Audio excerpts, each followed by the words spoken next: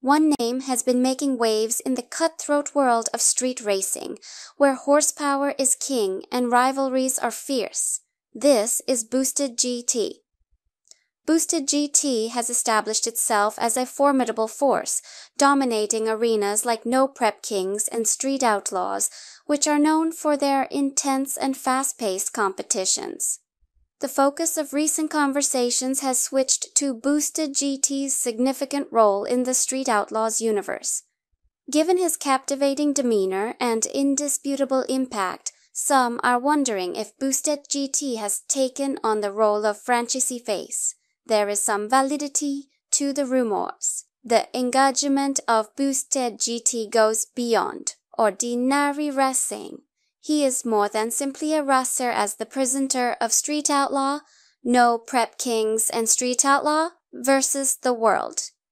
He plays a crucial role in putting together the drama and excitement that viewers love.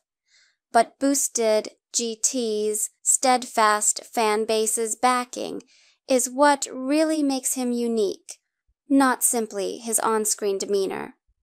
While other racers might have their share of critics, Boosted GT is largely adored by the public. Fans show unshakable support for him, whether he's tearing up the track or directing events.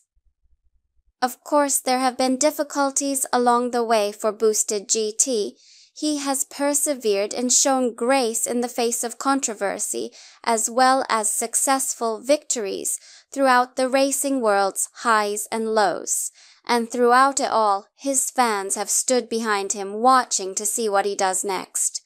Although some racers could have amazing speed records or track records, Boosted GT's appeal is rooted in his relatability and genuineness. He is more than just a racer. He represents the fervor and unity that characterize the Street Outlaws group.